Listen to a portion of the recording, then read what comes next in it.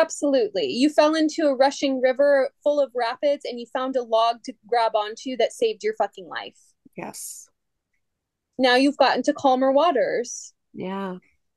And so maybe it's safe to swim away from the log for a little This is bit. maybe you could even make it to shore.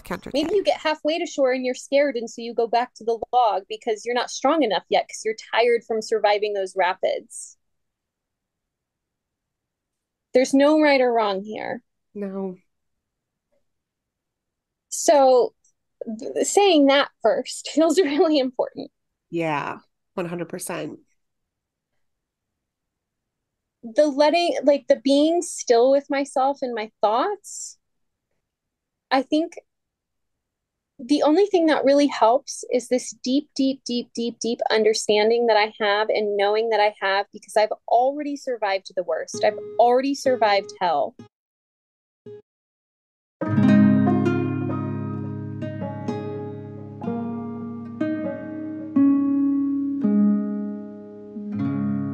This is single and probably asexual with Kendra K.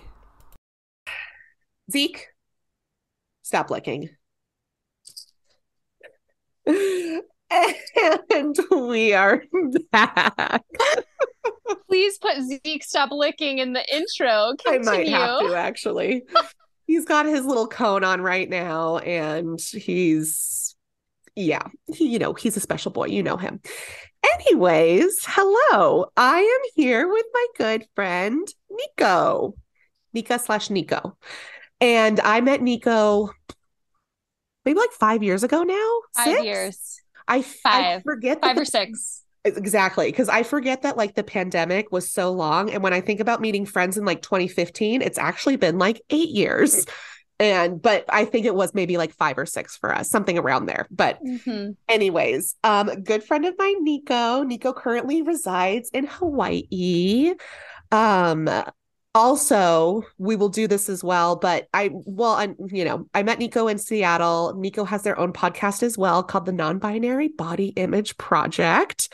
It is amazing. You all should check it out. It is seriously incredible. I recommend it to so many people because, and it, and you seriously gave me so much like inspiration to start this my own podcast as well because I Mm. love hearing about the non-binary perspective. It's not something that I under like that I know because I'm not non-binary and I under I understand things now about getting pronouns correct because it can be triggering and harmful when you're either Mhm. called a she or a, or a he and you no longer identify that way. And so i've just been learning a lot through nico and their podcast and you should really check it out. Um nico is in hawaii and they will tell you about the land that they reside on. I will tell you right now that i am in bellingham and i am on the land of the lummi nation and the um, nooksack tribe so we love and respect all of those people who are here and who have come before us. And I will turn it over to Nico now and have them give you a Mm. little introduction of themselves. And then we're going to talk. Amazing. Thank you, Kendra. And thank you for inviting me to be on your podcast. It's such an honor to talk to you. And it feels really good in my heart that um you know the way that we connected was because of both of us putting ourselves out there in an authentic way and that's always been a thread in our relationship and Seriously. um You've been ye- doing it the past few years. yeah Van life, you've been moving around so much. We, yeah, I do, I do appreciate that about us. We are not afraid to put ourselves out there and try new things. Yes, yes, yes. So happy that um, the non-binary body image project, my authentic expression, could be inspiring for you to use your voice. And I'm I'm excited to be with you in your style on this. And thank you for the land acknowledgement. I am in the um, kingdom of Hawaii. I am on the land of the Kanaka people, and um, I want to say thank you to them, and also to say thank you to my ancestors who got me here today and to just call them in to support me in this talk with you today because we're going to talk about some really fun stuff and some really difficult stuff. Uh, we are. We're just going to vibe and see where we end up at the end of this. it's going to be great. Yeah. And then just a little bit about my background. I'm a licensed mental health counselor. I've been practicing for about a decade now. I graduated at the ripe old age of 23. I'm 33 now. Took some time off in there and discovered myself as an artist and a poet. I've got a book out of poems uh, called I Should Give You a Ladder. You can find it on Amazon or on my website. And then, of course, the podcast, the Non Binary Body Image Project. And then I also do a grief group and grief retreats called Wild Mourning. And those are based in healing grief through the lens of nature. Mm.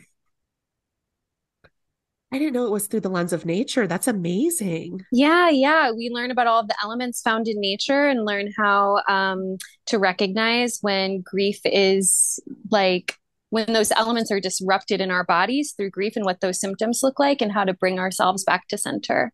Yes. Also, with like the change of the year and the seasons and stuff, you're going to mm-hmm. need different things at mm-hmm. different times of the year in order to equip yourself. Witchy stuff. Absolutely. Yeah. Yeah, it's all witchy stuff. It's all witchy stuff. yep. So that's a little bit about me. I love it. And yeah, Nico is currently living in this amazing little apartment, cl- literally on the water. In did on- you just say literally? I could have. It's I meant to say literally, probably like a British accent, but literally on the water, and you're probably getting so much natural healing right now. In so I much, can't even imagine. But I'm super excited to chat with Nico today because I had posted one of my last interview episodes with my good friend Zach, and we talked about celibacy. And then Nico reached out to me and was like, We should talk about celibacy some more because Nico themselves are celibate for over a year now, you were saying. Just up on a year. It'll be a year the second week of January. Yep, basically there. We're, we're mm-hmm. rounding up. mm-hmm. And I, yeah, I was so excited when you reached out and wanted to talk about this because it is such like like I said to Zach on uh, the episode I did with him, it's such a taboo topic, and and it was really cool to hear about Zach's perspective because he was a former celibate and he's no longer celibate. So I'm really excited to chat with you. Ooh, I'm the reverse. You're the reverse, and you had also mentioned that you were someone who identified as like hypersexual and then going mm-hmm. from being non-celibate and most of this time that you've been in Hawaii has been non like you you know celibacy which is really just spectacular. I can't i mean fuck sex. Let me just go lay on the beach for six hours and get like vitamin d. I'll get that sort of vitamin d or whatever. Like that's like you were saying with your Wild Mourning. it's the nature that is so fulfilling. So let's just dive into this. So okay. you've been celibate for a year. Was this an intentional decision or no okay talk to me about it. No um it did not start out as intentional i should say and then it became intentional. So i went through a very difficult heartbreak at the end of last year beginning of uh 2022 and you know historically in my life i am no stranger to heartbreak. I have gone through i've had many relationships some of them long term some of them very short. A lot of them um, most of them actually in the wake of my mother's death and in my grief state.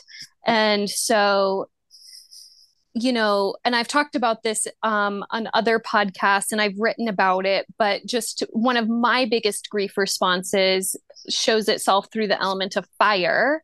Mm-hmm. And fire responses often look like substance abuse, you know, smoking is the use of fire, drinking is the use of fire, and sex is also a fire substance. It's a fiery act, passion, right? You could also argue that it's water because it's with your sacral area, you know, the that sexual place, but right. I identify very much with fire to escape my grief, and that is my favorite element to become imbalanced in. What is your sign again? Aries, right? No. I have an Aries moon and Leo rising. So I have a lot of fire in my chart. I'm a Taurus sun. Thank yeah. God to help balance yeah. me out a little bit. yes. Yes. Yeah. So yeah not um not an overstatement to say that historically in my adult sexual life i have felt very hypersexual very motivated by seeking sensation. Like that's really what the core of it is. It's just seeking sensation, seeking to feel something different than what I was feeling. And my main way of doing that was through sexuality. Right. And you It's know, drug. it It's is. high. Yeah. It absolutely is. Um, and this year I also got sober.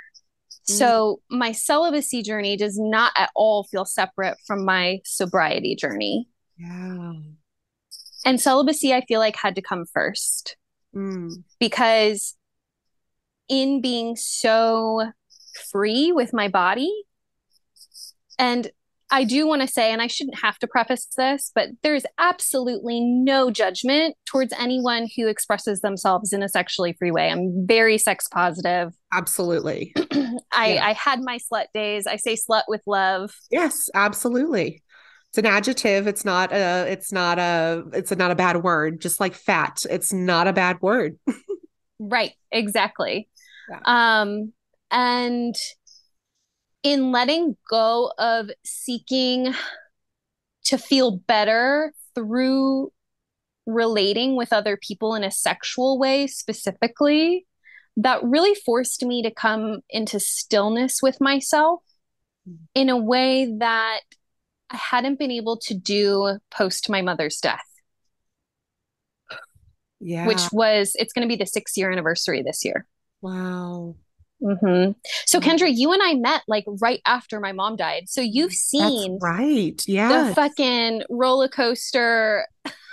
and just the progression of you as a human going from Nica, who had long hair and who presented more feminine, to Yep. who you are now, who just feels like a more in line with who you are spiritually and like at your soul and at your center. And you can just, you know, Mhm. Like when you cut your hair, I know that, was- that was so freeing for you. And God, thank God Alejandro was there to document that experience too, of like shaving your hair. But yeah, it's like you you just you came into yourself. And I'm so honored that I was able to be there like through that time actually. I mean, I know like you know, we met, we weren't, you know, talking every day, but like, yeah, that was right before your mom. mm-hmm. Like more special to know you and like come into your story when I did, and vice versa for you and me. Yeah. It feels really special to me too, because that was a time of my life when I felt such intense shame for every aspect of my being because I was so consumed in my grief that I was, you know, I was acting out of character. I was behaving in ways that didn't feel in alignment with my integrity. Um, and at the same time, I was finding myself. I Yeah. Had like all the structures in my life, everything before that kind of crumbled away. And so I was like very much in this identity exploration place. And for the folks who met me during that time, it's like you accepted me in my full chaos. And that's so special. You have, I mean, you got to. I mean, you don't have to, but they're like, there's just like the a narrative that I've been getting in my life right now. And like you even mentioned it on our phone call the other week when you said thinking about moving back and who is going to be there for me, who is going to still remain there for me throughout all these transitions in life. And I feel like I've been dealing with letting go of people. Some of us have been letting go of the same person. And it's kind of, it comes down to, who is there to not judge you, but to pick you up and still be with you and understand that nobody is perfect ever. And Mhm. Because, like, I think I saw you for you when I met you. And, and like, and then this is how I like see a lot of my good friends in my life and how I'm going to continue to see people in the future is if I really love you, I will be there for you and I will stick through you. But Mhm. there's, yeah, there's like this level of we just got to love more and judge less. yes. You were going through grief. You still are. I mean, we all still are with our own Mhm. experiences. I'm still, I feel like I'm still grieving my best friend who passed away, which was in Mhm. 2017. I think it was actually maybe around the same time as your Same mom. time. Yes, it was way was. less vocal about it. I think it was maybe because it wasn't my mom, it wasn't a family member, but she was still someone that was so important in my life. And Mhm. that's a hard place to be. And yeah, just Mhm. accepting people from where they're at is so big and loving Yes. Yes. Yes. And I will say real quick, Kendra, there's no such thing as a hierarchy of grief. Absolutely. So even if the people that we lost are different, Yeah. your experiences are just as valid and meaningful and painful and important and worth speaking as mine. Yeah. Thank you for saying that. Yeah, and you're, you're right. There's no there's no hierarchy of that whatsoever.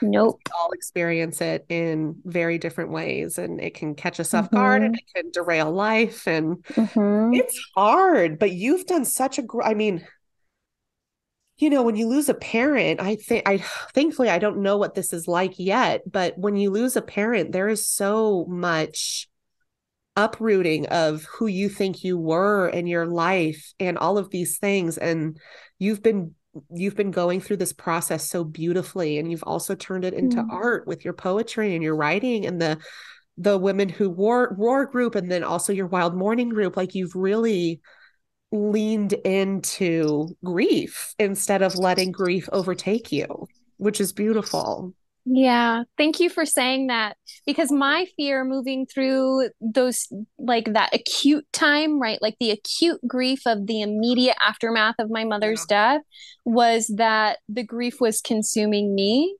And at times that was absolutely true. I felt like trauma soup. I felt like I didn't have a body. I felt like a puddle on the floor. I felt completely unlovable.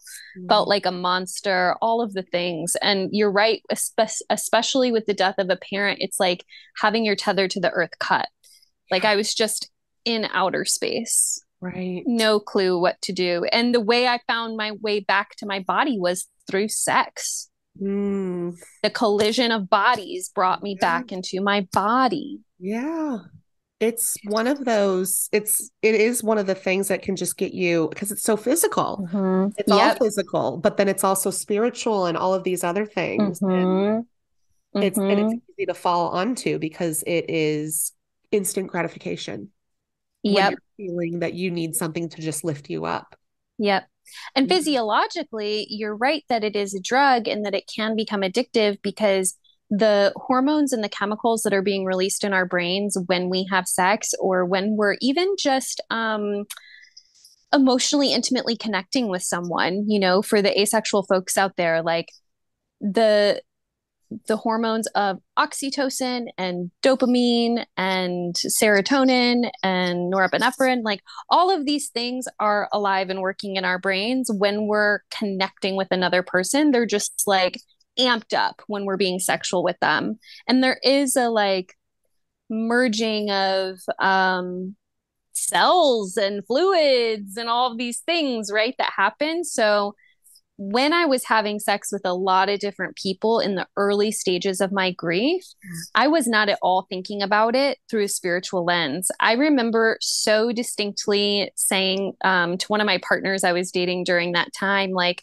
yeah, I don't feel an emotional connection at all when I have sex. It's literally just a physical act. Like, I could have sex with anybody. And I was having a lot of one night stands. Like, there was a time when I would only match with and I would only fuck travelers on Tinder.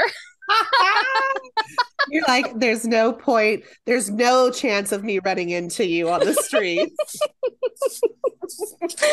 exactly. And so, like, to bring this full circle back to celibacy, which is what we're talking about today, the entry point into the hypersexuality for me was grief.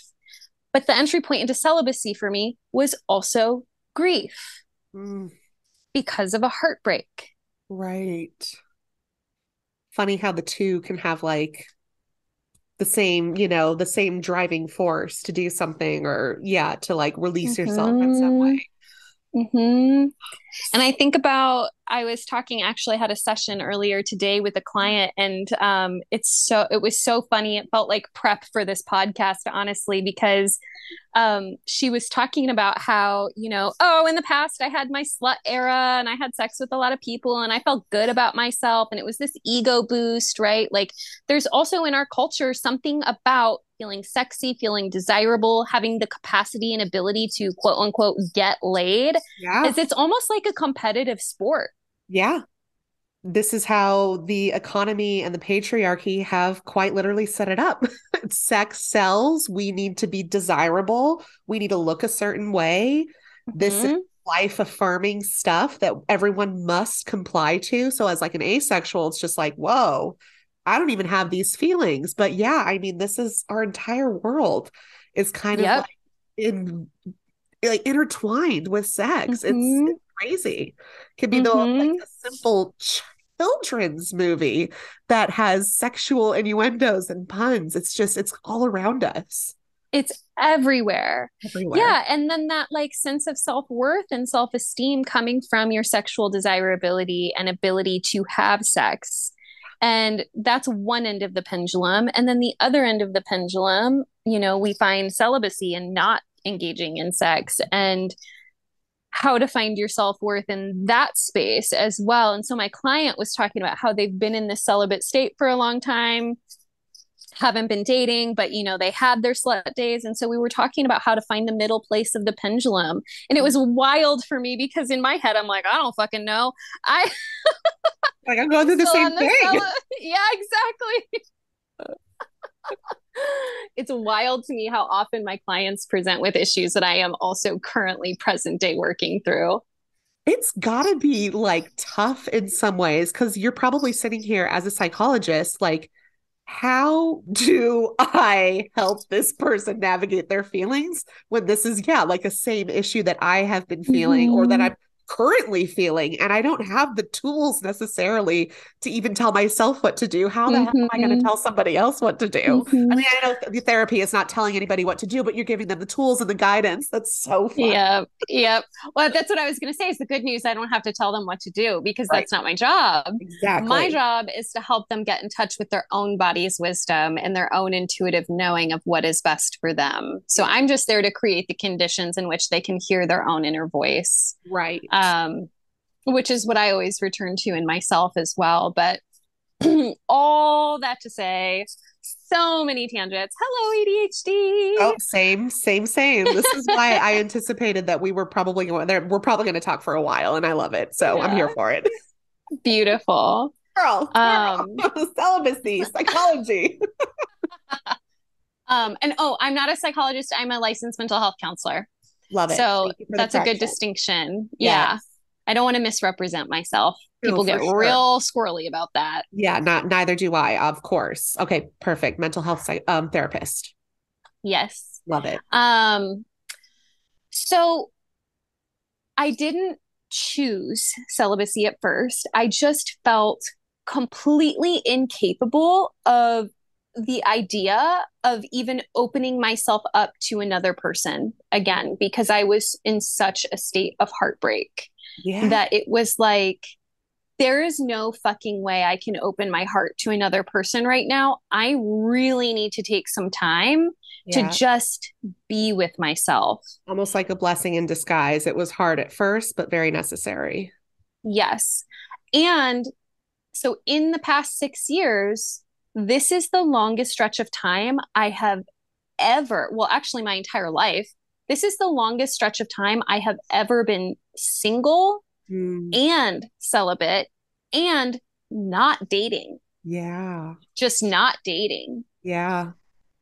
After my mom died, the longest time I went was three months at a time, Mhm. which Yeah. is not enough time to process things. No. and so I would just carry whatever had happened in my last relationship into the next relationship, and cycles would repeat. And then I'd find myself right back where I started, but a little bit more battered and bruised. And I finally went through enough of that that this time, this heartbreak was like, nope, I'm not putting myself back in the dating pool. I'm going to return to myself. I just need to be alone for a long time. Yeah. Yeah. And that's yeah, that's I it's a it's it's a beautiful blessing in disguise, you know, probably because that you were not in a good place after your last relationship and like also but just how beautiful like source and your ancestors and your guides really work because here you are in one of the most magical places in the world and you get to just heal and be and there and i love that you like there's no pressure for someone like you who has felt like they were hy- who was hypersexual for a long time Mhm. and then coming to this point of it being a choice for you personally and then also just being in this place where it's so beautiful and it's also so new and different you know especially you know growing up in illinois and then coming to the pacific northwest for so long you're just you're in this space where you can just freely be you and heal which i think it's so cool mm. and i love that i love this journey for you as someone who has been celibate for a long time i love this journey for you thank you Of course. yeah for the first time in my life like not even just post mom's death. Yeah. That's such a like big marker in my life, but for the first time ever, yeah. I feel a deep sense of peace and calm and equanimity. Yeah. And equanimity means the ability to be present with any kind of disruptive thing that happens in life from a place of staying in my center, of being in the middle, of of being able to experience big emotions in response, but to come back to that center place. Right. And, and to not get totally knocked off and derailed and like spiraled into using drugs or spiraled into having sex with strangers or, you know, whatever the fuck. We're taught that like we need to cope. So we're either going to cope with sex, we're going to drink, we're going to smoke, we're going to do all three. We'll do all three at the same time and mm-hmm. it's hard to be with yourself. It's hard to be single. It's hard to be abstinent from sex. It's hard to have yourself be in this place where you are not allowing things to come in to mess you up. And like, mm-hmm. not all people will mess you up. Not all sexual encounters will mess, mess you up. But even just the act of sex is this release, but you can also release on your own but mm-hmm. a lot of people like you said you said what three months like in a right. like was the longest time but we we dive back into that because it is such that like instant like instant gratification of release you feel better mm-hmm. you're you mm-hmm. know the the uh, you're validated exactly. your brain chemistry is going the off chemistry is going on because you're releasing all these you know the what is the the word i'm looking for the happiness the oxytocin? Oxytocin too yeah. Endorphins. So endorphins like endorphin yeah. rush, and that goes yes. to your head and it yeah. And it's very pleasant. It's you know people mm. we love people who obviously have sex. We love people who have sex if they're not in a relationship. We love people who have sex if they're polyamorous. But it is hard to be with yourself and not have that release and to sit with yourself and learn like well, how can I make myself feel better or how can I move through this stage of my life without doing the things yeah. so reliant on in the past? Because we yeah. are we are the own our own little universe and everything that we have inside of us is the answers and we can always fall back on that but we need that like space and that time to learn about ourselves more in that way and mm-hmm. it's hard it's hard mm-hmm. but very rewarding yeah. too it really is. Yeah. It's like the, the peacefulness that I feel. Yeah. The long term reward. It's not that quick sex, short term yes. reward. It's the long term, the long game. We're in it for the long game right now. My new motto is I am far more interested in pursuing satisfaction mm-hmm. than I am in pursuing short term pleasure. Yes. I love that. Mm-hmm. And satisfaction is built up through consistency, yeah. and satisfaction is built up through integrity. Yeah. It's doing and presence. Yeah, exactly. Presence. I was just going to say, it's like it's doing your daily routine of lighting a candle and meditating and reading for a couple hours a day. And like the more you do that, it's like, this is what I'm looking forward to. Like I'm mm-hmm. looking forward to that time and that space that I just get to have with myself where I feel like I can infinitely grow. And mm-hmm. And I want to say too, like I'm talking like I live like a, a, saint. Like I've been joking with my friends, like, oh God, I'm just like living this Christian lifestyle. Like yes. I'm not drinking and I'm not smoking weed. I'm not using any drugs. I'm I'm celibate. I yep. and I feel this peace. Like, what the fuck is going on? Who am I? Mm-hmm. well, you're I am not no saint. and satisfaction like yes all those rituals and routines are so important but it's also grace and compassion when we don't always get it right And yeah. I don't even want to use that language because it's not right or wrong to right. have ritual and routine in your life.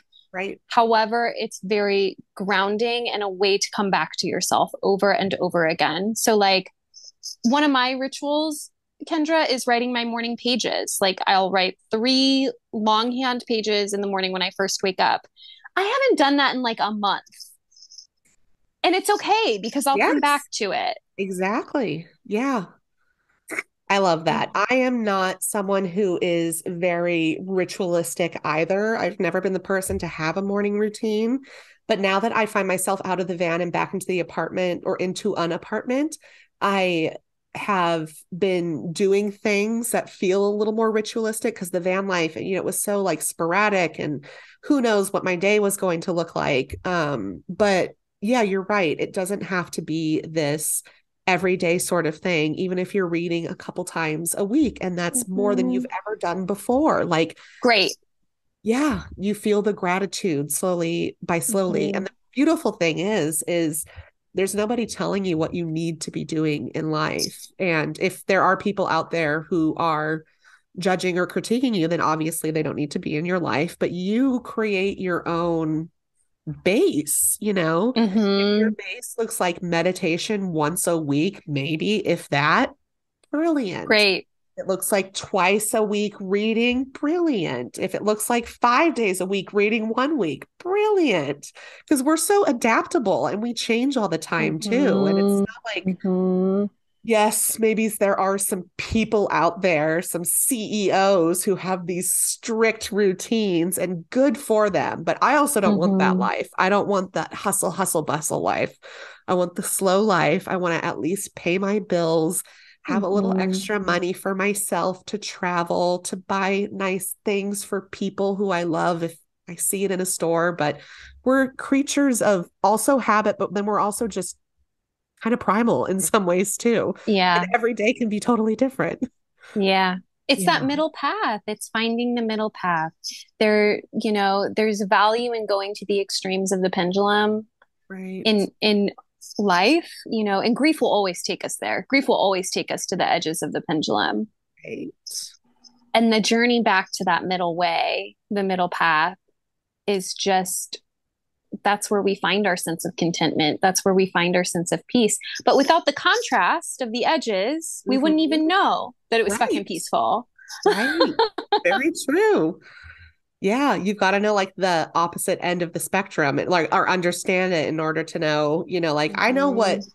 depression depression feels like. I know when I am down and out and if I'm feeling you know certain amount of way from that that point over here like that's that's great and amazing and but there's mm-hmm. also no mm-hmm. progress either in life especially with grief you can be right. mourning hard one month or one year you could be mourning hard mm-hmm. for your mm-hmm. mother in the next 5 years but like these last 4 years have been like somewhat okay it's yeah our bodies yep. are probably know this as like a mental health therapist like our bodies are so you know different and especially mm-hmm. like with you being celibate now i wonder you can probably like answer this but i wonder if there are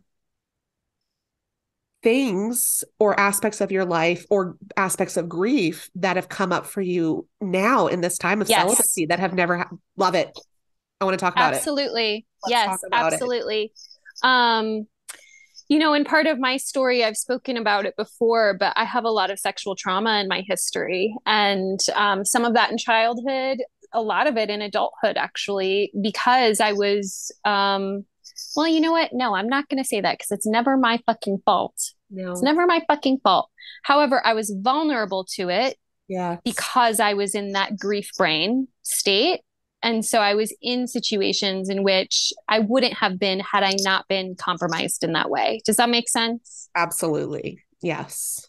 So in celibacy, you're absolutely right. Our bodies are all different and our bodies hold our stories. Mm-hmm.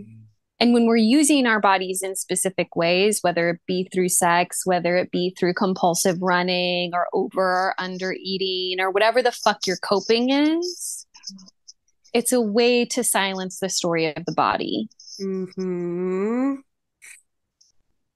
So yeah, let's just like take a breath with that. Yes. Inhale deep in. yeah, wait, repeat that last part again with the body. When we are reaching for our coping, whatever that may look like for you, compromise to the body.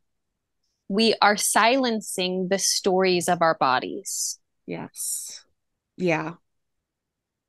We're not allowing our bodies to fully express the stories that are alive in them and therefore let them go because we're using something to cover it up. Right. Mask down those feelings that are coming mm-hmm. up too. Yeah. Yeah. And for me, it was sex and cannabis. Yeah. So, with both of those things gone from my life, the amount of releasing I've had to do in my body, particularly in my hips, mm. is crazy, Kendra. I now have this mm. habit of when I'm going to sleep, I have to rock my hips back and forth like this in like a self-soothing motion. And it happens all of the time and it never ever ever used to happen before. But it's trauma coming out of my body. It's just releasing little bit by little bit. Yeah. And before it wasn't happening because I wasn't attuned and present enough in my body and I was using these things to cover it up that it wasn't coming out. Yes. Another example of that is um, earlier this year, I popped ribs in my rib cage because I went to the rage room. is that one of those rooms know, where you just bash a whole bunch of shit? Yes. Yes. you go in and you pay to break shit. I and so it.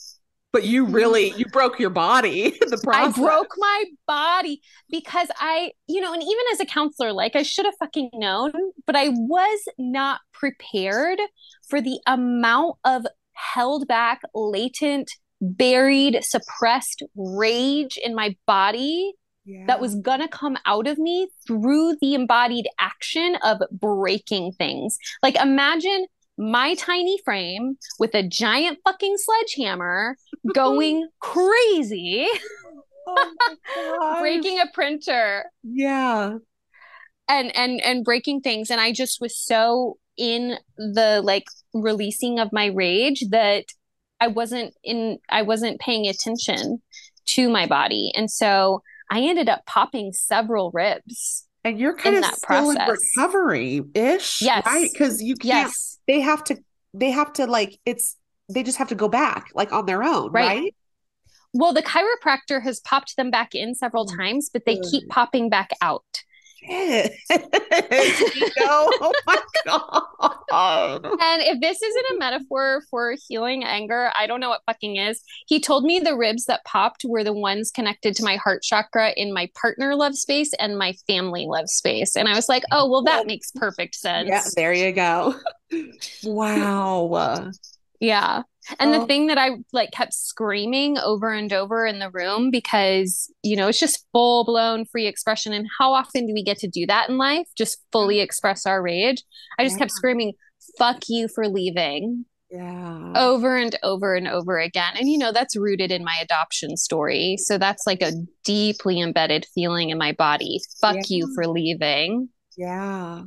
And probably a little bit with your mom too, even though, you know. Yep it was kind of, you know, it happened and it, it was nat that was how her body was naturally supposed to leave mm-hmm. this earth, but it was still like, fuck you. Mm-hmm. Here. Yep. And that happened right after and here's the choice not choice with the celibacy because that happened right after I got back from studying mushroom assisted therapy in Jamaica. And I got back to the island and I was like you know feeling so expansive feeling so ambitious feeling good feeling on top of my game like all right I'm ready to go out there and date. Right. and- and then I popped my ribs and my body was like, fuck you. You literally You're gonna be extra still. Extra You're not even gonna be able to move for months. I couldn't do my dishes. I couldn't fold my laundry. Like I had to rely on my friends to help me. I felt yeah. I've never felt so vulnerable. Yeah. And like if you had wanted to have sex, there was no way. No. no way. Oh my gosh. That is that is just quintessential life and universe just I know. Let me just squeeze on in here and really make sure that you're taking this time seriously. You're really going to be celibate. You're really going to sit and think about your feelings. You're going to listen to your body. for maybe the 1st time ever. Mm-hmm. Like really deeply have to listen and like relearning how to move. Like Dan? I'm a dancer. Yep. Yes. And like not being able to dance full out. Um, you know, not being able to swim in the same ways. Like uh, the rib cage is involved in everything. It's our heart center, and you know, it felt like a really perfect metaphor for grieving too, because that's what happens in grief. Like, Yeah. your heart gets broken, your ribs pop out, and everything is impacted. Right. Everything changes. How you move changes. So, how are you feeling today with that? Is it better, worse, same? I'm pain free, Good. but the ribs aren't all the way back in. Yeah.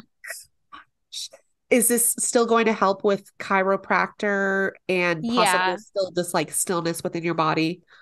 Well, now it's to the point. So, this is the pendulum thing again, right? Because I needed deep stillness to heal it. And now I'm needing physical training because the issue is that the joints, like the ball and socket or whatever, it just keeps popping in and out. And so, I need to strengthen the like musculature and tendons and everything around it to keep it in place because the chiropractor can use brute force to get it back in, but that doesn't mean it's going to stay. Mm, exactly. And that's also just like grief healing. It's like we can try and push our way back into alignment. And unless you're building up the strength through everyday actions, it's not going to stay that way.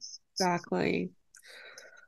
Oh my gosh. Jeez. I've Mhm. forgotten that almost that, that that happened to you. And ugh, what a like also divine timing. You're in Hawaii healing from that. Not only healing from just the past few years and the death of your mother and relocating a couple of times. Now you're Mhm. physically healing, which is so funny because you said earlier about the body, how, you know, we don't listen to the body and our body becomes compromised and we don't hear it. And so we do these things like smoke and we have sex in order to make the body feel better, in order to make our mind feel better. And here you are literally at stop because you have to make your body feel better. And then you're also doing these things that you used to do in the past to cope that you are no longer doing. So this is like exactly. intense, intense like Yeah. therapy in a way. Yeah, it really was. And then the chiropractic care on top of it all, you know, like working with the bones, like literally manipulating my bones back into alignment. And that, like, bringing up the healing of a lot of the sexual trauma too. Um, yeah, it's wild. Yeah. And if you anyone who's listening is interested in Nico's past and her their story, they do have the first episode of your podcast is your story and it's very Mhm. beautiful and if you're interested more in hearing all about everything, I again, I highly I highly recommend the podcast and I highly recommend that episode as well. Thank But you, how Kendra. wild. How wild is that? I know. I It's- know. It's crazy. But I'm grateful for it because Right. I don't know that I would have had the self control to not go back to dating, to not just like find a lover, Yeah. you know? Going back That's to that was such a big part of my identity. Yeah.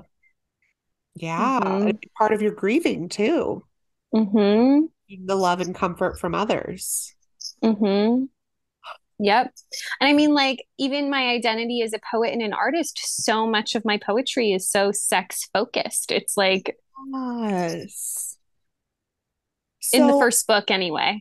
right, right, exactly. Ooh, I love that. So, with, I mean, aside from the physical damage of your ribs and like literally the physical dam, sorry, there's a ambulance, the physical damage of your body, which is so intense and insane. And you're right, the ribs are so they're it's kind of like your abs, like um like I'm not about to like promote working out or anything. Like working out is also healthy, but a lot of like a lot of things like also revolve around your abs. You can be kayaking and you're working your arms, but it's also working your abs. So your your, Your ribs are core. right there. It's the core. And there's so Mhm. much that can be compromised. You can't swim anymore. You can't dance anymore because it's the base almost. It's not the Mhm. base, you know. You could think of your root or your feet as the base, but it's kind of like the hub to the to everything else, all your other Mhm. extremities and stuff. So, oh my gosh, it's got to be tough. But with being celibate now, aside from like physically having to literally calm the fuck down because your body is like, you can't do it anymore, babe. Yeah. How, what has been like when you have like, so let's say like before the rib accident too, like what were some of the things that would come up for you? Almost like those urges, and how would you tell your, yeah, Mm. like how would you talk yourself out of it, or what would you do, or what came to what came to you, either spiritually or ancestrally or via the land? Like, Mhm. what were some of those things that would come up during those hard times after you had committed to being intentionally celibate? Yeah. So I made the commitment to myself to be celibate for a year just to see what happens. And you're almost there. I'm almost there. And now I'm like, should I just do another year? Five years later. I know. I'm like, but I'm feel so peaceful. I don't want anyone fucking with my peace. Exactly. Sex is Um, always there. You can always have it whenever you want. So it's, but this mhm. time with yourself. Yeah. You know, I would say, okay, I'm going to talk about this actually through the lens of sobriety instead, because Jeez, yeah. To be honest, being celibate hasn't been that hard for me, which feels shocking to say out loud, like given my history, right? Mm. Because I remember in the early stages of my grief after my mom died, it literally was like physically painful to go without sex. Like I remember one time turning to a coworker at the bar I was working at and being like, "It's been 2 weeks since I have sex. I'm going to die." like that Yeah. was so long. Like I couldn't even fathom Yeah. going like if I went a week, I was like, okay, I need to have sex. And I had like had agreements with friends, like, okay, we're literally just using each other's bodies. That's what this is. Right, right. And now you're just here like, I can keep like- going, probably. Yeah, like I don't really feel that intensity when it comes to urges. Like I just don't. And um I think it's because I now have a much deeper understanding of what sex is for me outside of just the physical act, but of it being a spiritual act and not wanting to merge my energy with just anybody in that spiritual sense. Like it feels like the consequences are too high, the cost is too high. Yes. And Yes. so that's a really great deterrent. And it's not that I like don't have desire, it's not that I don't have libido. Here's a fun fact. Right. Um now when I masturbate, I can come in like 5 minutes. It's awesome because Get the job done. exactly Yeah. because I'm not, you know, engaged in that with anyone else. So I get this pent up energy and then I masturbate and it's so easy. Yeah. Yes. So it hasn't really been that hard to not have sex. Yeah. But what has been much harder is giving up cannabis. Sobriety has been much, much harder. So I'll talk about those urges. Absolutely. And, you know, I'm just about to hit my 90 day mark. So I'm newly sober. Good for You know, you. Thank you. Yeah. And I've been sober before in the past five years, but it has never been with this amount of intentionality and commitment. So I am in the program. I am working the 12 steps. I have a sponsor. I, you know, am working with my higher power. I am working in this spiritually oriented way in a way that I never was before. And that is making all the difference in the world. And there is a Um, 12 step to cannabis. It's not Yes. just AA. Yes. I love Exactly. that. And that's actually, Yes. I mean, great for a lot of people to know because now that Yeah. Marijuana is- Anonymous exists. Yeah, love that. Marina- Marijuana Anonymous. Because now that cannabis is so readily available to a lot of Mhm. people, especially on the West Coast, I mean, there is Mhm. shop so every other block, it feels like, especially in Washington, people think you can't be addicted to weed. Can. Yes, you can. Yes, Yes, you you can. I, for you can one, have- know that as well. yep. Yeah. You and I have talked about that so much over the course of our friendship. Yes. Um, and it's such a shameful thing to feel so powerless with the substance, especially one that culture views as relatively safe and benign and that people Right. don't take you seriously exactly. for. Because thankfully, it's not something as detrimental as alcohol. Yes, it's very much more like neutral on the body. But when you are either consuming it too regularly and it's, you know, you're losing who, you know, yourself, that's that's an addiction right there. And it's, it's Mhm. totally relevant. And I, for one, will admit that I am Mhm. addicted to cannabis and I am still working through my ebbs and flows of it as well. But it is a total thing. It is a real thing. And just because it's a safer outlet to use other than like hardcore drugs or alcohol, it is still Right. It can, st- it, yeah, you can still be addicted to it and it could still affect your life. Yeah. Anything that you don't feel the ability to stop using despite the negative consequences of that usage in your life, whether it be through, you know, consequences on your work, in your relationships, in your day to day, in your health, whatever the fuck. Yep. If you don't feel like you can make the choice, like addiction is the absence of choice. Right.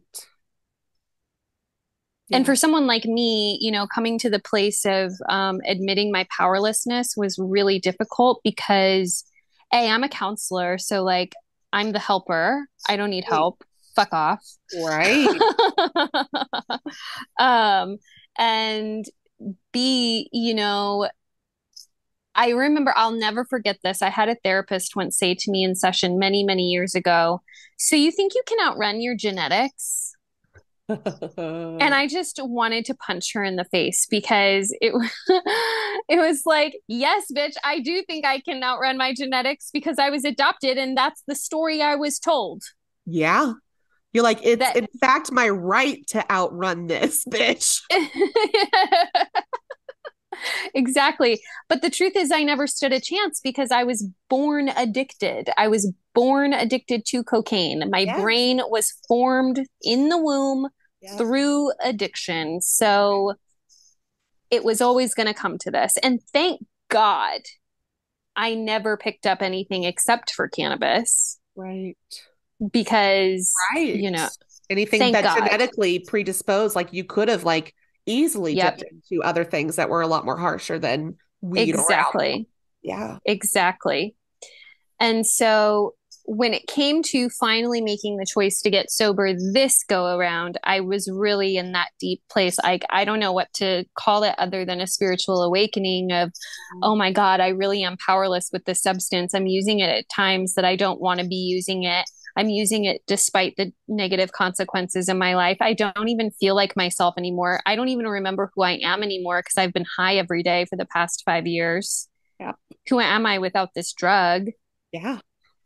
And you know i could i could logic it all i wanted to. Like i could do all the mental gymnastics in the world because um, i was using it medicinally to medicate my ptsd which it can be really useful for folks with ptsd i was using it to medicate my fibromyalgia pain. ADHD.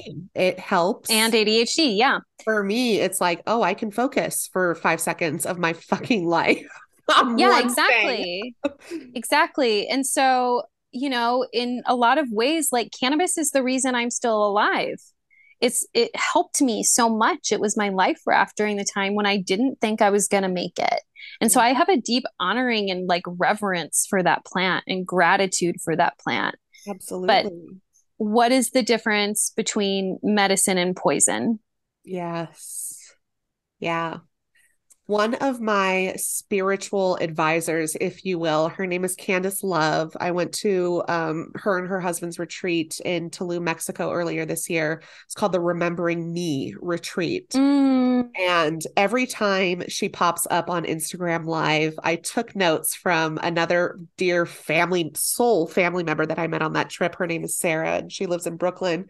And I remember her on that trip. She was talking about how Candace has been in her life for so long. And she goes, Every time I see Candace, you know, popping up on her lives, I I I shut down everything that I'm doing and I grab my notebook and I grab my pen and I listen. And the other day I she was on live. And so I was just, you know, I'm editing. I'm also watching the Mindy project. So I pause the Mindy project. Yes. I set up Candace's live and I continue to edit. And I'm like, what am I doing? Close my laptop. I pull out my notebook and my pen. And one thing that she said on that live, she was talking about addiction. And mm. she says there is this part of you that is used the substance. And then there is this part of you that can be free of that substance. And then the yeah. one thing that she said that stuck with me, and I just was typing it down when you were speaking, is she said, What version of yourself are you going to let win? Mm-hmm. Like, mm-hmm. I shut my laptop and started taking mm-hmm. notes. And forevermore, I will always take notes when I listen to her lives because she's always got so many good nuggets. But that was so it was just serendipitous too. It's like needed to hear that when I because mm-hmm. I've struggled with addiction with cannabis too. And it was that was just so powerful to hear. Like, what version of yourself are you going to let win? This past version or this current version of yourself? Or the future version future you know, version exactly yes. we're going to let the future version win yes you have to be able to imagine your life sober yeah. and it really like to return to you, because this all started because you asked me about how do i cope with urges right when the urge to smoke comes and it still does like I still get cravings. Right. Especially if I'm dealing with something really emotionally difficult, like talking to someone in my adoptive family or um, you know seeing the person who assaulted me in the news both really big triggers for me but again like talking about that equanimity right like being able to experience these things or having a conversation with my ex mm. being able to experience these things and then not reach for the substance and what is helping me is that first step mm-hmm. admitting that i'm powerless mm-hmm. that second step finding out who my higher power is. Mm. You know, for me, it's nature, and that shows up in my work. Yes. And connecting with my higher power. And then, third, having faith and trusting and surrender that my higher power will lead me and guide me to where I need to be. Yeah. Powerlessness, trust, faith, and surrender. And someone, right. for someone like me who, like, having a sense of sovereignty and having a sense of like empowerment is so important in my like aliveness the thought of admitting powerlessness as being the key right. was just like so difficult for me and remains difficult. Like I still struggle with it on a daily basis. Like, no, I am powerful. I can make my own choices. But you know what that thinking gets me every fucking time is right mm-hmm. back to using mm-hmm. because then I think, oh, I can manage my behavior. Oh, I can just use a little bit. Yeah. Oh, I'll just use with friends. Oh, I won't do it alone. And then where yeah. do I end up? Right back where I started, right. using all day, every day without yeah. my own consent. And I relate to that so much. And I think we both come from this position of we have both worked for ourselves for over a decade. Yes. it is hard to tell it's hard to take input from people it's hard listening to people telling you what to do and it's hard it's like i'm going to smoke today fuck my or you know whatever my body is telling me not to do or all this stuff it is hard to let go of that control especially mm-hmm. when you are so fiercely independent, not only in life, but how you make a fucking living. Yeah. Yeah. Which is all connected with like, you know, my addiction healing and recovery too, because something about working for myself is both so deeply good for me and so deeply isolating. And so Ooh, I hear that. Something that came so strongly for me in Jamaica was just the reminder of like, to be well, I need community. Yes. To be well in my work, I need community. Yes. And so, you know, whether that means staying in my business and just, you know, hiring other counselors to work with me, whether that means joining an existing team somewhere else, I know I need to be working with people. And that feels really good to me. To you've made this realization, you know, for the longest mm-hmm. time, you're like, mm-hmm. no, I got this, I got this. Cause I remember, yeah, on our phone call, you were talking about that. You're like, actually, I want coworkers. I want that, yeah, that space. Someone's doing the mm-hmm. same thing that I'm doing. Mm-hmm. Yeah, mm-hmm. it's hard to find that when you work for yourself. And like and especially like me as a photographer, like I know a lot of photographer friends, but it's not like there are a lot of support groups or communities because sometimes our I mean our business no. are so different. Like you're a family photographer. I photograph people naked and yes, we're doing the same thing, but it's kind of different and it's very yeah. isolating at times. Yes. And then for me, I'm in this place of, well, I just have to seek my own community outside of my work because this is what I was destined to do. As you and I both know, I am amazing at what I do. I'm yes. not giving that up for anything. So I feel I hear you so much there. And I have been, I've always been a big person who has a lot of friends and people in their life, but now I'm trying to find, like, I hate this word because as a person who works for themselves, I know I need to do this sometimes, but I also just want to hold up in my apartment and just stay safe from COVID and other people's mm-hmm. emotions and mm-hmm. opinions. But finding like a network of people, and even if it's just casual communication or a little meetup and we talk, chat about our businesses, it's that's so important. Yeah. It's so yeah. important for those who work individually. And I think everybody should seek that out as best they can, either finding a company to work with where you can have coworkers or finding another source of people to talk and relate to. Yeah. Watch it as often. even a consultation group. Yes. You know, even like a, a, what the fuck are they called? Not a think tank, but like yes.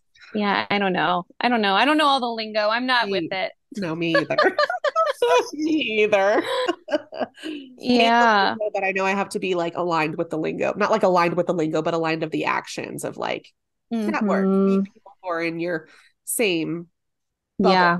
You know. None of us are gonna make it through this life alone. Period. No. Yeah. We can't. We can't which feels like such an interesting statement with you know the main theme of this convo being celibacy which is like returning to self and being alone right? Yes. Um but i don't think that the that that has to mean being alone because the truth is is being celibate and working for myself and and being living alone all of these things right have allowed me to come to this place of groundedness and stability that allows me to connect more right. with other people than mm-hmm. when I was like constantly fucked up from relationship drama or you know being hungover on cannabis or just being constantly stoned or the financial stress that comes with being an addict. Right. And working for yourself. And working for yourself trying to hold it all together Exactly. Yeah. None of us are going to make it through this life alone. We need other people, period. Yeah. Which, yeah, it is so ironic because of the topic that we are talking about. Uh huh. But it's truth. It's true because we need we don't need support in sexual ways. Some people do. So, you know, again, it's like you and I will probably very much well have sex again with people in the future, but mm-hmm. the support is community. And some people mm-hmm. have sex with their community, and that's great. They're mostly poly. We love it but it's it's a different if it's it's it's a different kind of support but it is kind of ironic because it's like no get away from me. But also can we chat about like life? Can i tell you yeah. how i fucked up my ribs in this rage room and the irony about coming home from jamaica and oh my god. putting myself right back in my bed? Right back in my bed with no partner just me. Yeah. Yeah. Do you ever find so my I have come leaps and bounds with my journey with cannabis. And it's definitely been a rocky one for me. And I'm very much still in it. I use edibles from time to time, but I was such a morning, afternoon, and evening smoker. And you being sober now from cannabis, what has it been like to just sit with your thoughts because that is one thing that has also always terrified me of Ooh. letting go of that because it is a way to decompress and it's also a way to mask how my body is feeling how my emotions are feeling and for someone who lives on their own suffers from depression and anxiety works for themselves mm-hmm. these this vice that i've used for my whole life it reminds me less of the things that I have to stress about in life or where I'm at in life or thinking about fuck what if i choke in my own apartment and it's just my goddamn dog here who's probably just looking yeah. at me like all of these things and like the you know the release that cannabis has given me and not delving into this further black pit that I so easily know how to get in, myself into as someone who has mm-hmm. suffered from depression for most of their life. What has that been like from you being 90 days sober now? How like what have the what has the thought process been like? Oh my god. Well, first of all, the first 2 weeks I couldn't stop crying. Like sounds about right. Weeping yeah at anything at any little thing just crying crying crying feeling so much purging and yeah yeah purging those emotions yep and i will say i don't think that everyone should be sober. Right. I don't think that that's the solution for everyone. That's not i am an addict. Right. I need sobriety. So right. i'm speaking for myself here and i'm not going to put that on you either kendra. Like I don't only you can know if sobriety is the answer for you. Right. However, you know, and and to acknowledge, I think that there's so much shaming that comes from using in any capacity when you're talking to sober folks. Mm-hmm. Um, I have experienced it from close people in my life. Yeah, fuck that. Um, less judgment, more love. Yeah, yeah as I'm like, fuck that, which is so judgmental. but we don't, but we're fucking the judgment. That's yeah. the, the judgment, not the person. exactly. Exactly. it's like first find that compassion and that that like appreciation for the life raft that it has been for you. Right. What has, because, has gotten me through already. How it's absolutely Absolutely. You fell into a rushing river full of rapids and you found a log to grab onto that saved your fucking life. Yes. Now you've gotten to calmer waters. Yeah. And so maybe it's safe to swim away from the log for a little bit. Maybe right. you could even make it to shore. Maybe you get halfway to shore and you're scared, and so you go back to the log because you're not strong enough yet because you're tired from surviving those rapids. There's no right or wrong here. No. So saying that first feels really important. Yeah, 100%. The letting, like the being still with myself and my thoughts, I think the only thing that really helps is this deep, deep, deep, deep, deep understanding that I have and knowing that I have because I've already survived the worst. I've already survived hell. That there are three things I know for certain. One, there is no such thing as a permanent emotion. Mm-hmm. No such thing doesn't exist. Yeah. Can't happen. Yeah. One thing we can always count on our feelings will change if we sit with them long enough. Mm. Two, our thoughts are not facts. Yes. Big one. there is this quote, and I forgot where I heard it.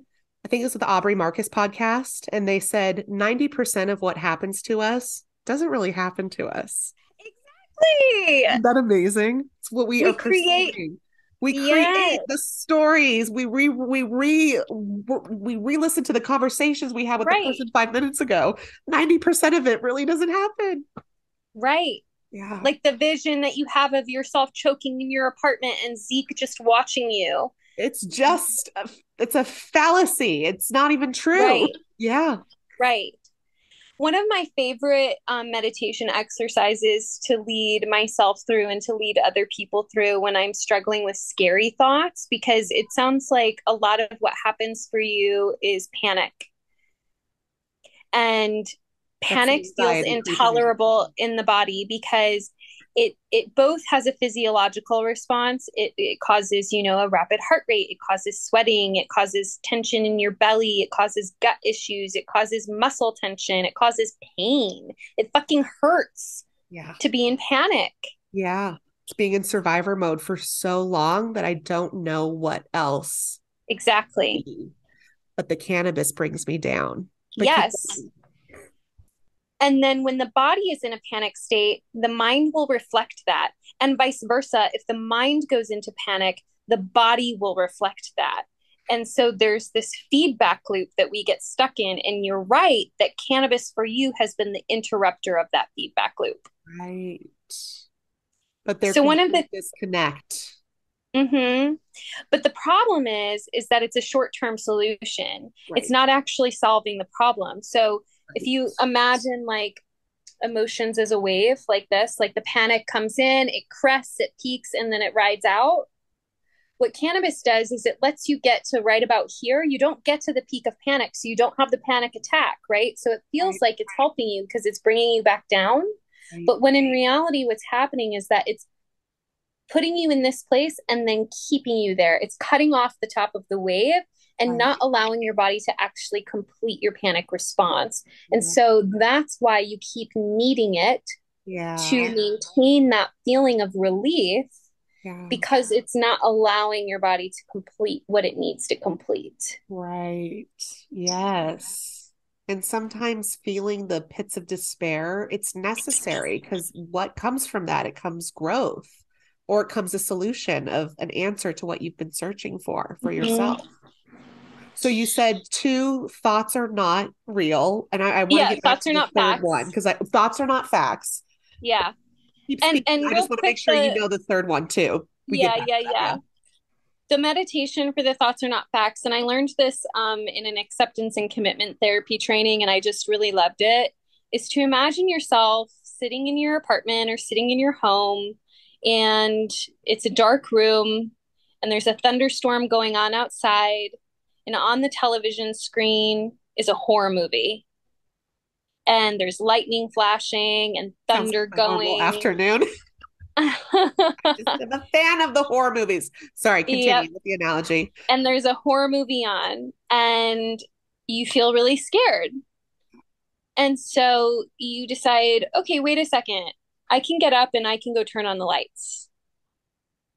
Okay, that feels a little bit better, but there's still this horror movie going on, and I'm really distracted by it. And I hear people screaming, and I hear the thunder, and I see the lightning, and I'm still scared. Okay, I'm going to make myself a cup of tea okay, I feel a little bit better, but this still isn't working. All right, I'm gonna call a friend. I'm gonna call a friend, and the lights are on, and I'm drinking my cup of tea. How am I feeling in my body now versus when I was sitting in the dark room alone watching the horror movie fixed to it?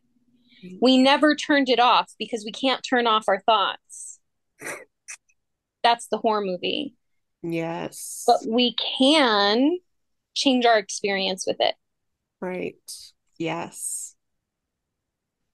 cannabis is your cup of tea right now. Mm-hmm. Cannabis is the warm light. Yep. That's okay. For me, it's not okay because my brain's fucked. But it's not an all or nothing thing. Yeah, exactly. That was a yeah, that was a beautiful, beautiful analogy. Um, and then the third and final thing, give me a second. You can always trust your inner wisdom. Mm-hmm.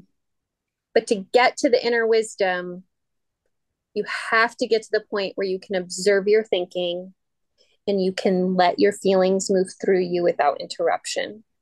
Right the inner wisdom falls in the middle there. Yeah. Yeah.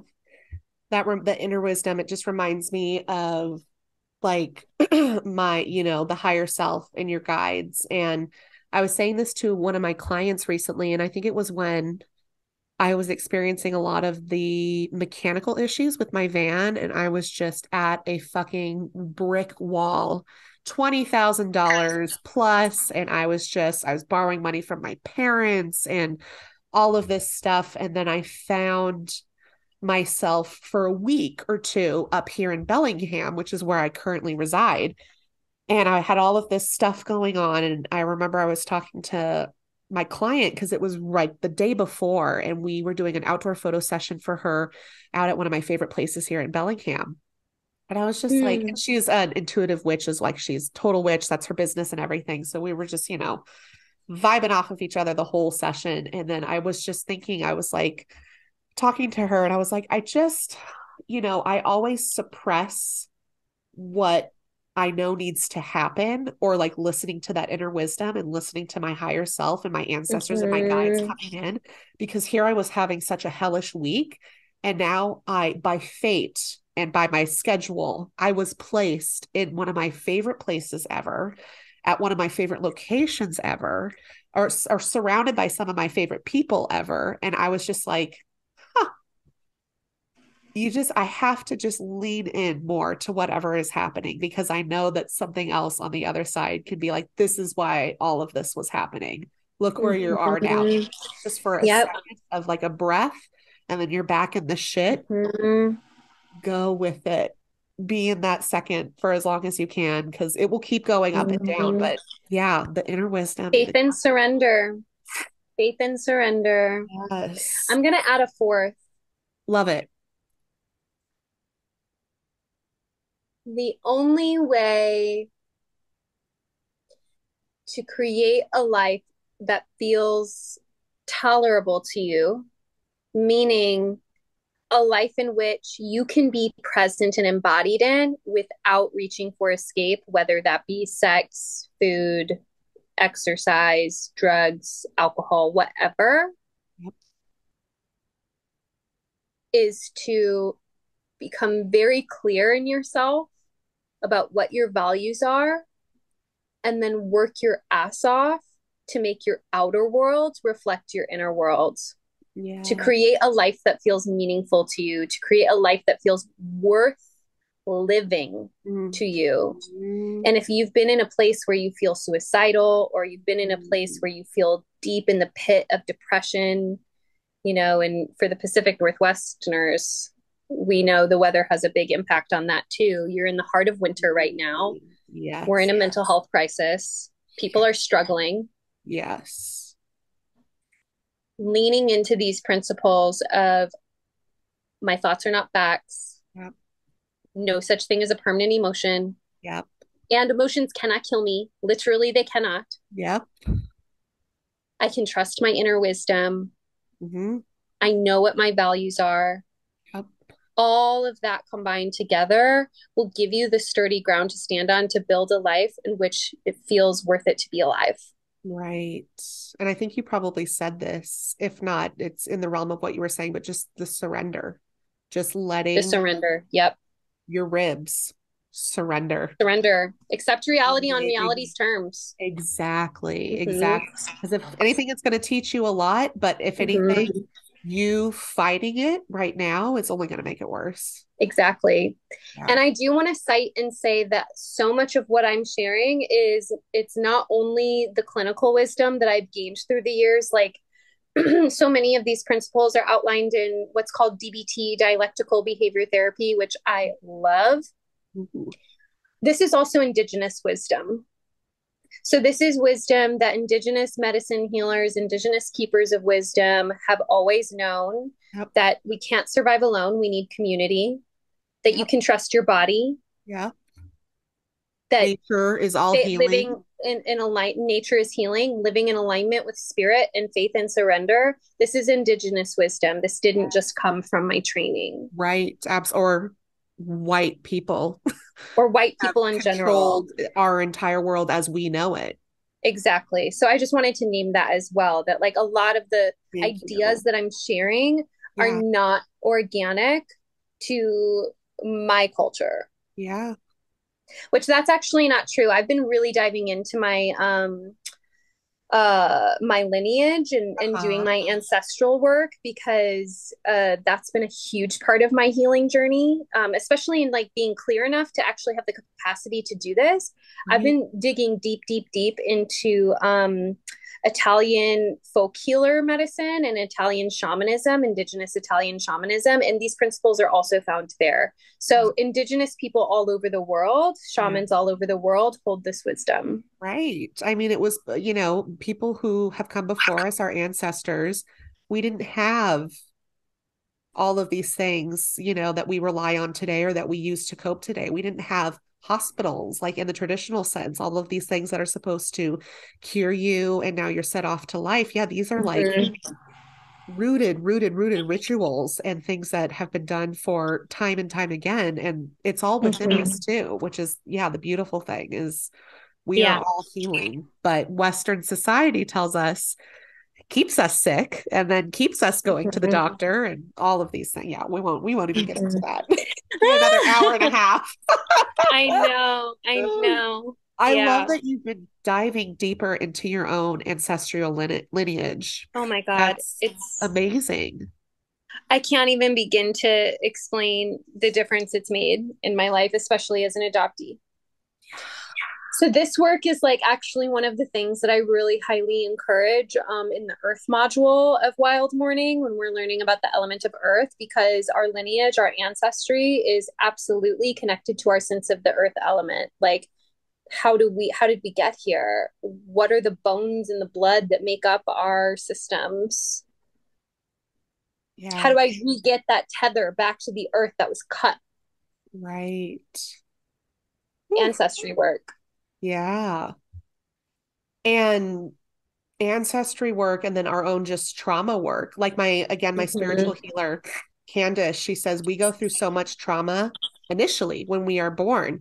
We're mm-hmm. grabbed mm-hmm. by doctors and you know, we're getting stuff sucked out of our nose and stuff, and we're being we don't have any autonomy over our little bodies for actually a long time. And you know, you've experienced this well into your childhood. You had no autonomy at certain times. And that, and when you were talking about your hips, Candace also says that most of our childhood trauma is stored in the hips and most of our trauma is stored there. So I love that you're doing this little nightly routine because that's mm-hmm. where both of our issues, everyone's issues, every single person, mm-hmm. it's, hips. it's there.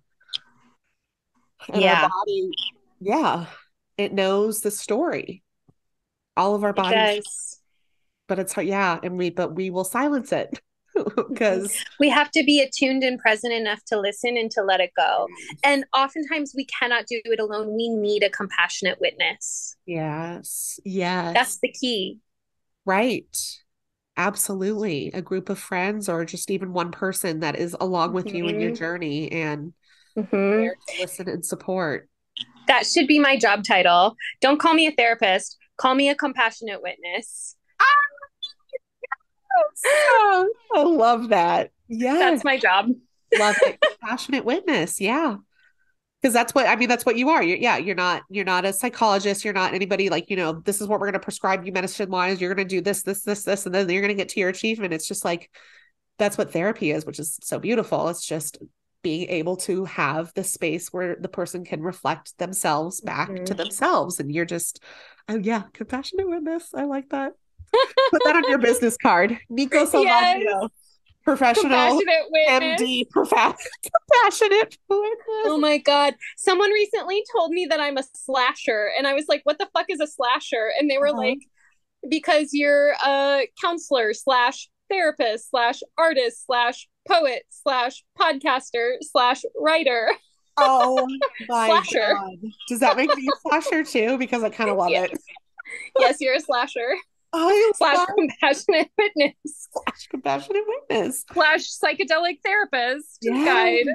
Yes. Jesus. Oh my gosh. And you you were and then you really delved into different forms of medicine recently too and you went to Jamaica and that was revolutionary mm-hmm. transform transform mm-hmm. not just you the person but how you can facilitate healing to others in the future yeah yeah yeah amazing yeah the ancestry work really opened up for me through my medicine work in yeah. Jamaica. And we won't even get into all the problematic shit that happened um, working for a colonial company in a yeah. um, really historically, you know, abused and violated country you can just imagine. Um, but the medicine, you know, I'm loyal to the medicine. Yeah. And I will say this is a big debate in the sober world but I am someone who thinks that psychedelic therapy, like psychedelic assisted therapy, has a time and a place in a sober person's recovery. Absolutely. Yeah. I still think there's a place for that. For sure. Big component on believing that everybody needs to do psychedelics at one point in their life because it's something that no one else can show you or teach you. And mm-hmm. you're you're going to take whatever you take from each medicine, you know, dose. And it's just, it's fascinating. Yeah, it's a really beautiful fit for most folks, a lot of folks. And for some folks, I, I would say, like, with the caveat, like, with certain pre-existing um, medical conditions or uh, mental uh, diagnoses mm-hmm. veer away because it can worsen right. issues um, right you know however that's not the case for most people right exactly yeah so just be discerning be right. you know check in with your own inner wisdom your own inner compass there. Yeah. Like for example folks with a history of schizophrenia are probably not the best candidates for psychedelic assisted therapy because it can really exacerbate their symptoms. Right.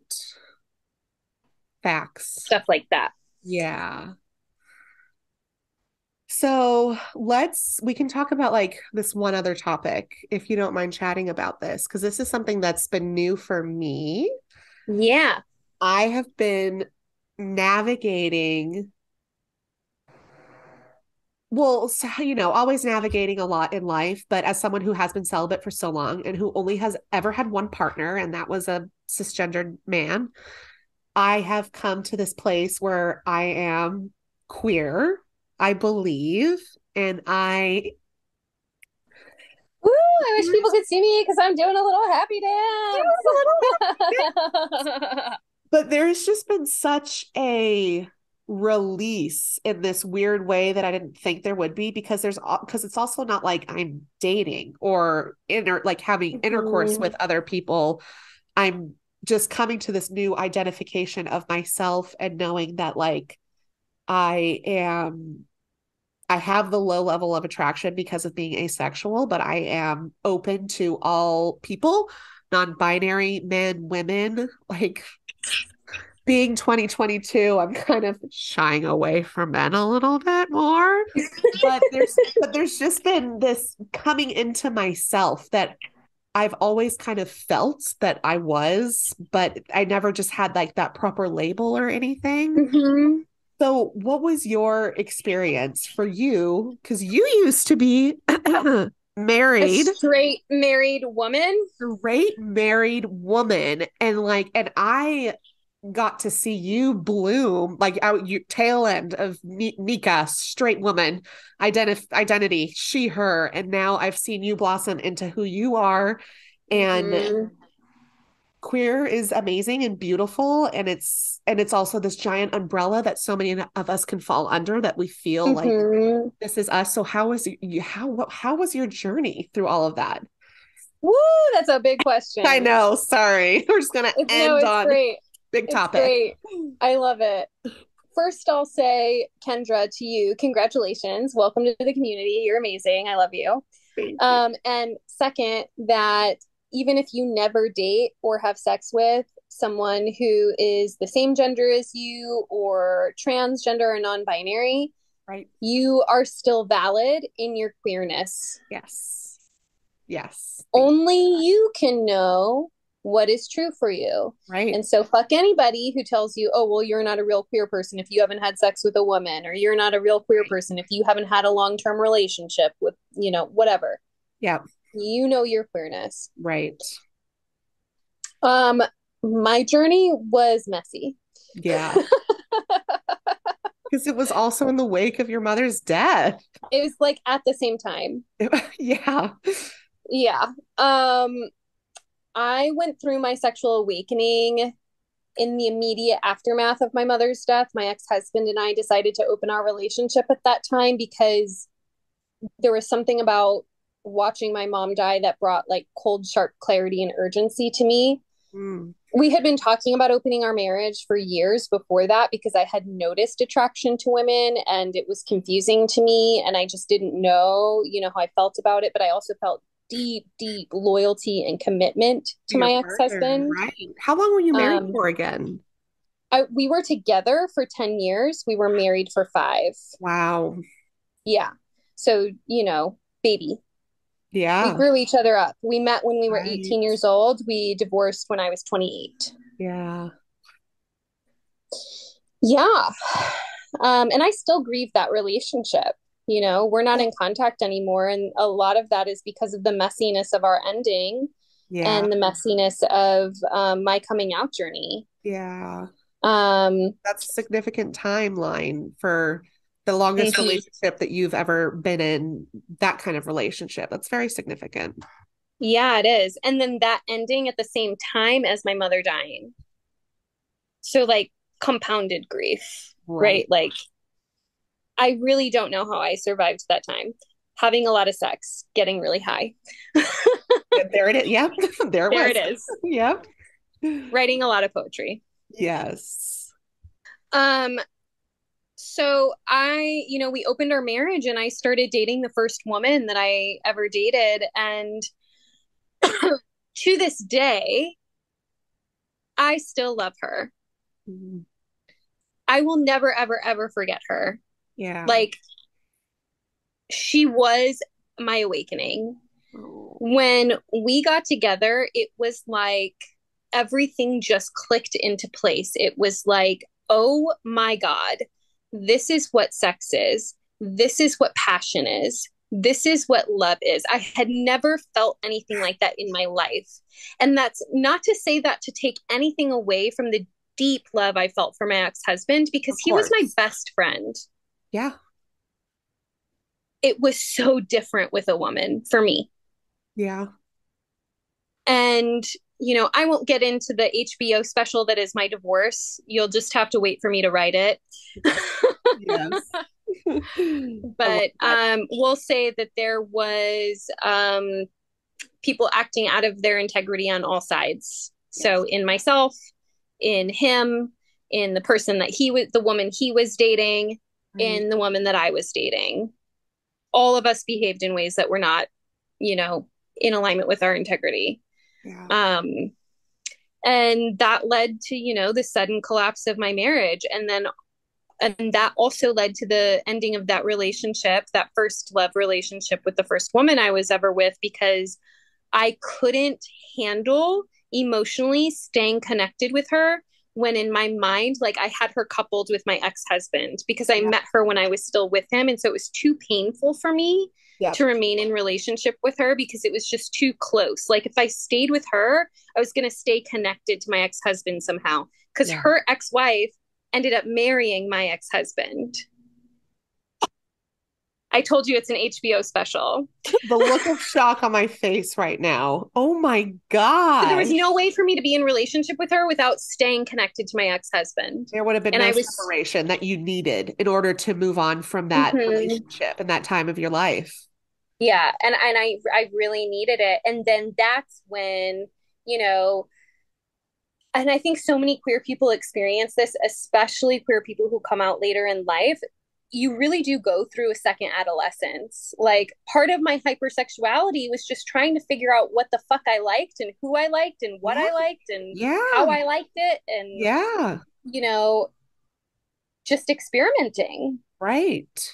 Um so messy. Right. yeah. But There's... through it all I found myself. Right. Yeah there's so much that I've been recently learning specifically about asexuality and how there's a little bit of like this wall between a lot of people, even in the queer community and asexuals, because the queer community was built on I can have sex with whoever I want, I can love whoever I want. But when it comes to asexuals, it's like we don't have those desires. And it was almost like we didn't fit under this umbrella of people who fought for so long and so hard to have their love be valid and wor- you know worthy and worthy to them and everything so it's mm-hmm. been like mm-hmm. a weird coming out sort of thing for me because it's like I have felt this way a lot of my life. I just didn't have the definition or the term for it. I feel attraction when I do feel attraction. There's no gender there. It's not specifically someone who right. masc presenting or femme presenting. It doesn't matter if they're identify or a man as a woman. It's very little attraction, but it's there's no I'm not hard on one side or the other. Like I am a yeah. straight woman or I am a gay woman because I also feel like there's it's hard for me to also explore that right now in that realm, which a lot of people who are gay or trans or bi have that's how they have identified figured it out. Right. So I'm like in this weird mm-hmm. bubble of like, I think I'm queer. Yeah. How do I know? It's like I can know. I don't have to do these other things in order to know, but it's it's very interesting. Very mm-hmm. interesting. Okay, I'll say this queer to me yes. is less about who you have sex with or who you want to have sex with. Queer to me is more about your orientation to the world and it's more a political lens of how you approach the world. Queer as in radical queer as in different queer as in um you know not not normal quote yeah. unquote normal right? Like standing for something that is queerness very much feels like in opposition to for yeah. me. Love that. I relate hard to that. Right. what so you I could do. live a very queer life and never have sex with another person who's the same gender as you, but how you live your life, like yes, queer politics, right? Like anti-capitalist. Yep um, you know, being very involved in social justice movements, being very aware of the impact yes. of whiteness in the world. Yes. These these sorts of things, right? Like this is how you move through the world in a queer way and queer for you what does that mean right like maybe maybe you're queer as fuck because you're self-employed and you're taking pictures of naked people that's pretty fucking queer kendra and all types of people. You can be yes. gender, you can be a cis straight white man, you can be a yeah, you can be gay, you can be two lesbians together. Like yeah. And I've always lived my life this way, I feel. So I feel like there's this hard identity where it's like, yes, I'm queer, but that part of me is like, do I have to sexually no validate that? But you but you just answered that for me. It's just how I live and that's why I've always said like I've always felt this way, but I didn't have the labels. But it, yeah. it was but there the labels can kind of get a little convoluted when you know being a part of the LGBT movement was so like this is who I am at my core and this is who I choose to love. But I love that. Mm-hmm. Thank you for mm-hmm. saying that because that was total validation after validation after validation. Yeah. Yeah. Yeah. And maybe some queer folk out there won't agree with what I'm saying, and that's okay because that's queer too. Right. yes, it is. In opposition. Yes, it is. Oh, I fucking love that, Nico. Thank you so much. You're welcome. You're welcome. Yeah.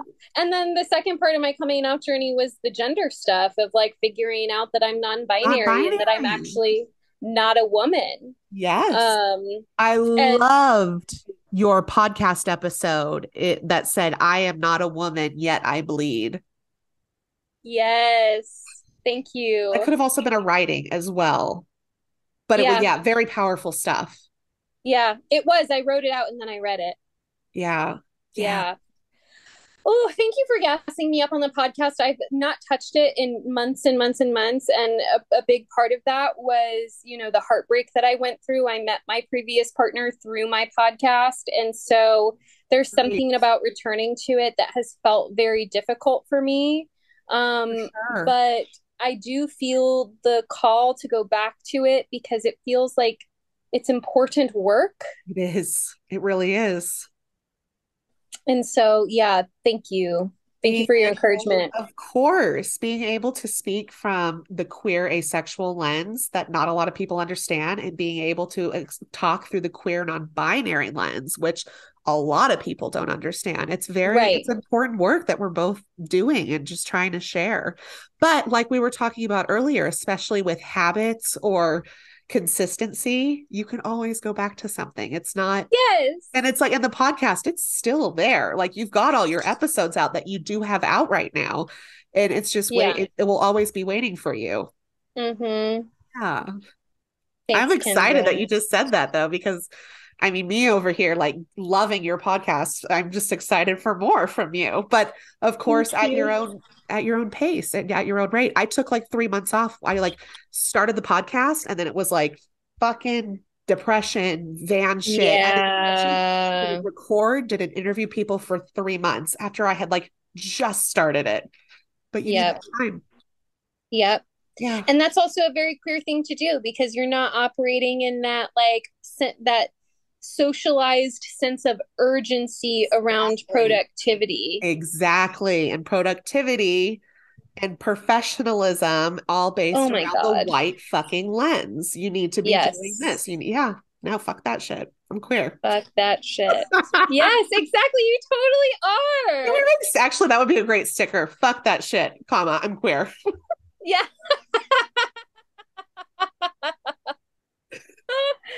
But so much truth. You can always go back to it whenever. I love that. Oh my gosh. That's Mm. amazing. Thank you. Thank you. I'm so proud of you. I'm so proud of you too. Pause for silence. Seriously though, I mean, I really am. It's and yeah, like I didn't even think about that until we started talking. I came in your life when you were like in fucking turmoil and Yep. It's yeah, it's just been a joy to watch you grow and it's just I think I said this to you once, but I'll say it again and remind me if I've said this to you or not. When I first met you, you made me very nervous. And it was because I had never seen or been around someone that was that vulnerable. And not only that vulnerable, but that expressive around what they were going through and like you're grieving. And it wasn't just like, oh, hey, how are you feeling? Oh, yeah, you know, surface level stuff. Like you got into it and then you would ask me questions and i was like i've never experienced this from someone and it could be just you know you you as in like your job like that's kind of like what your your juice what you love to do but you always made me so nervous. And when i sat with that and i was like i think it's because they're challenging me. Not not intentionally but that's what made me feel nervous. And then i've just been i've just I've loved getting to know you and being and w- witnessing your vulnerability too, because it's just, it's inspirational. And again, like you even doing your podcast gave me such inspiration to do this. And there was so much nerves and fear surrounded with this, and there still is. Mhm. But I just think like, just be open. There's nothing can hurt with just being yourself and being vulnerable. And Mhm. like indirectly taught me a lot about just who you were and how you are as a person. Oh my God. You could see me trying to like hold back my laughter because it's just like, you're right. During that time, I was just like a leaking, like, faucet of vulnerability because I couldn't help it. Like, it was just coming out of me. Yeah. I didn't have a choice. And, and, and, um, I love that though, because that's how we were able to get to know each other, like really Yes. know each other. Yes. And we're Um, taught to bottle things in, not talk about, Mhm. not bring other people down. And here Right. you were like, my I'm not mother, okay. okay, you're gonna you're gonna listen to what I'm about to say, and let's we're just gonna go for it here. And I love that because there's not a lot of people out there like you who will be that radical with their vulnerability. Yeah, thank you And it's what led you you. to your own podcast too, which is why I love it so much Yeah. and hearing from that lens. And yeah, no, Yeah, someone special for sure. it's crazy. I had this dream a couple of weeks ago um, about moving back to Seattle. Yeah. And I had this dream where one of my dearest, dearest friends was explaining to me why so many people in Seattle are mad at me. And I know your face. okay. You're like, okay. All right. But the truth is, is like during that time, I burned a lot of bridges and a lot of relationships just went up in flames because they, those relationships could not hold grief. Yes. and they could not hold my expression of grief. Yes. And the dear, dear friend in the dream said to me, People were so mad at you because you refused to hide your grief. And they didn't want to see it. Because mm-hmm. when people are uncomfortable, they don't like that. Right and just like you said that's challenging yeah. because when you're around someone who is openly grieving and this i know we've been talking forever but this feels so fucking important to Please. say when we are grieving and we are an open wound we are a walking open wound which is what i was people will turn away from you that you never expected to turn away from you and the people who are willing to turn towards you in that time are your people. Yes. Because grief is the ultimate truth teller. It will show you exactly who is meant to be in your life and exactly who is meant to fall away. And that's why so many people's lives are completely upended and disrupted by these big grief experiences. Life events. Even just, I mean, for sure but even just other life experiences that could happen mm-hmm. say you lost like a whole bunch of people in your life that's i mean that's still grief that's still grief yes. so you're right it actually just goes back to it but yes. when you're so open and vulnerable that can open wound yeah so for me i was like shit they make me uncomfortable should i just turn around and not speak to them again no because i'm learning more about myself through them being so open about where they're at in life yeah.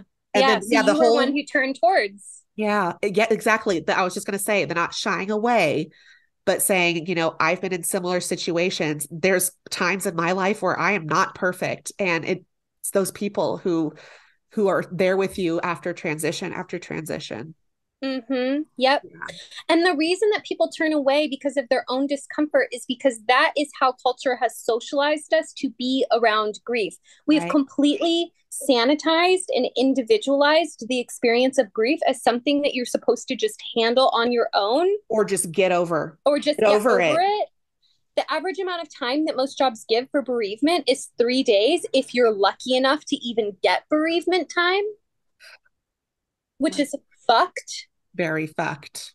And so people get angry when people are unwilling to hide their grief because yeah. they somewhere along the way had to hide their grief and so resentment builds it like how dare you make such a scene how dare you just let yourself fall apart? Pull it together. Right. How dare Which you is, go about life differently than i did? Right. Which yeah. is like white supremacy and colonialism in a, night, a nutshell. Totally. So the decolonization of grief work is working with grief and community, which is exactly what wild mourning is, which is yeah. the opportunity to experience being witnessed compassionately, going through ritual with um, you know, the elements in nature and being able to talk story and be cre- and and have creative outlets with your grief. Yeah. In community. Yeah. Which is basically what you provided for me, Kendra. I'm so glad. Mm-hmm. Because I remember when we went to Leavenworth and you said you were like, you were just there and you just listened. And that's and that's all anybody can ever do. But that's what I'm also really good at too. Cause I love yep. to hear stories and I love to learn from other people that aren't my family or how I was brought up in my whole life. But that thank you. That that means a lot. Mm-hmm. I'm glad yeah, I was able to you. be there for you during a time. And I didn't even know that until like years later. And yeah. Mm-hmm. Mm-hmm. Yeah. Okay. I love you. Oh, love you so much. Thank you for doing this. You are the best. We may have to have a Nico episode part two down the line. Deal. Talk about a totally different topic. We can talk about psychedelics. Yeah. We can talk about the patriarchy. We can talk about whatever we want. Let's talk mushrooms. Let's talk mushrooms. Let's Actually, you and I have had so many psychedelic experiences together too. We have, and we need to continue for the future for sure. Yeah. Yes, we should definitely chat about that next time. Thank you so much for being here, though. I really appreciate it and talking. And this was such a great episode. And I am like ecstatic for people to hear this. So thank Me you. too. Thank you, Kendra. Bye, everybody out there. We love you.